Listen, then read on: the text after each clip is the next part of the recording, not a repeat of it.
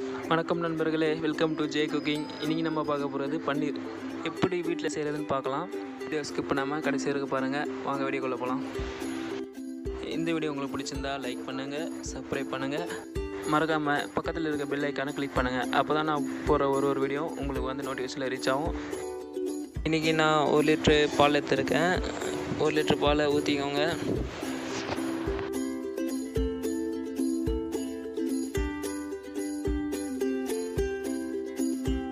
பால் நல்லா பொங்கி வந்தோடனே லோ ஃப்ளேமில் வச்சுருங்க. பதினஞ்சு நிமிஷம் கழித்து லெமனை கட் பண்ணி பிழிஞ்சு வச்சுருக்கேன். அது ஒரு டீஸ்பூன் போட்டுக்கலாம். போட்டுட்டு நல்லா கிளறிட்டே இருங்க.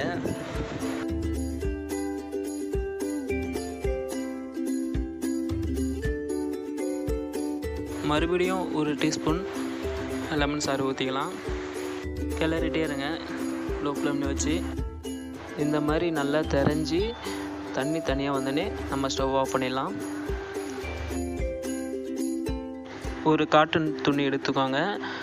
பாத்திரத்து மேலே வச்சு நம்ம அதை ஃபில்ட்ரு பண்ணிடலாம்.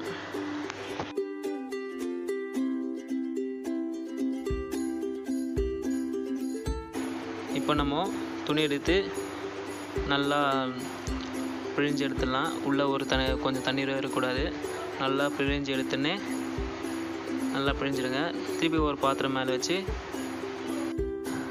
தண்ணி ஊற்றி கழுவிக்கலாம். ஏன் தண்ணி ஊற்றி கழுவணும்னு கேட்டிங்கன்னா நம்ம ஃபஸ்ட்டு லெமன் சாறு போட்டோங்க இல்லைங்களா? அதெல்லாம் வெளியே போகணும் அதனால் நல்லா போட்டு வாஷ் பண்ணிடலாம். நல்லா கழுவிட்டேனே. திருப்பியும் நல்லா பிழிஞ்சு எடுத்துடலாம். நல்லா பிழிஞ்சிட்டேனே. இப்போ நம்ம ஒரு ஃபில்ட்ரு வச்சுக்கலாம். ஃபில்ட்ரு வச்சுட்டு நம்ம இப்போ பிழிஞ்சு எடுத்தது மேலே வச்சுட்டு அது மேலே வெயிட் வச்சிடலாம். வெயிட் வச்சா தான் அது உள்ளே இருக்கிற தண்ணிலாம் வெளியே வரும். ஒரு அரை மணி நேரம் அப்படியே விட்டுருங்க. இப்போ நம்ம எடுத்து பார்க்கலாம். இப்போ நம்மளோட பன்னீர் ரெடி இந்த வீடியோ உங்களுக்கு பிடிச்சிருந்தா லைக் பண்ணுங்கள் மறக்காமல் ஷேர் பண்ணுங்கள் நம்ம அடுத்த வீடியோவில் சந்திக்கலாம்.